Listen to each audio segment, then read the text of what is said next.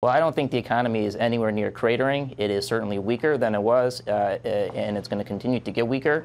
And part of what uh, uh, what they're looking at is because the credit has been tightened for, for, for a number of quarters, starting in uh, 2017, and they've just actually pivoted to more accommodative monetary policy. So, uh, you know, we're not looking at a catastrophe in the Chinese economy. It's going to be a little bit slower.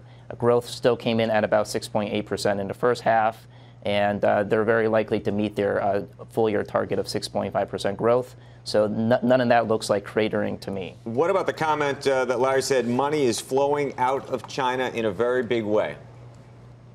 I don't, I don't, I don't see evidence of that very much. I, I the Chinese still have imposed pretty strict, uh, pretty strict capital controls. Uh, they, uh, they might let that loose a little bit later in the year, but for the most part, we are not seeing the kind of capital outflows or the pressure on the currency uh, as you did in the 2015 period.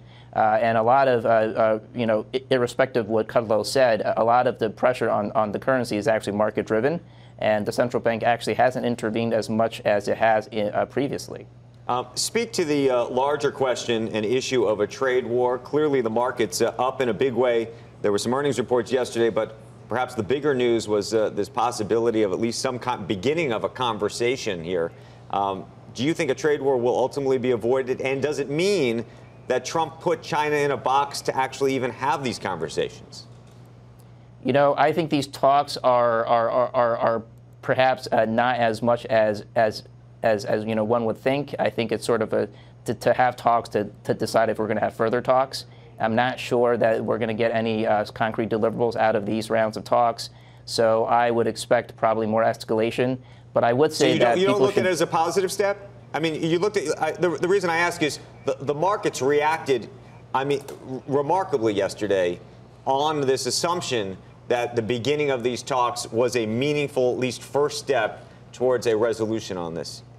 That's not your it's take. a positive. it, it's certainly it's certainly a positive step, but in but in terms of what the Trump administration wants out of the deal, uh, their goals are things like rolling back China's, uh, you know, industrial policy made in China 2025. That's just not going to happen uh, from tariffs. Uh, they want China to stop, you know, IP transfers, IP theft. That's not going to happen from tariffs.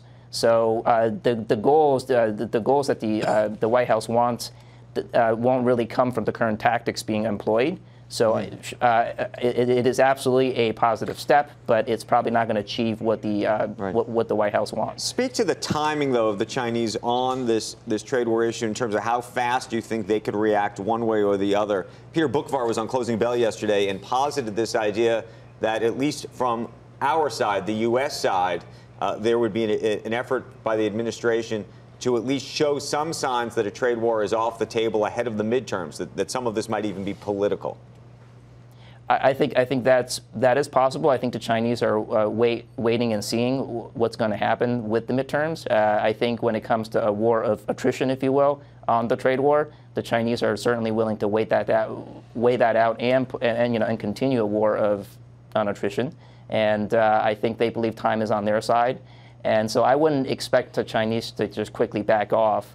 Uh, you know, uh, there's been a lot of talk about how the Chinese won't be able to retaliate in kind because they don't export as much, or we do not export as much to the Chinese. But there are other ways they can uh, they, they, they can hurt the United States, for example, on services, which mm-hmm. we run a $50 billion surplus, and they can certainly uh, go after those exports.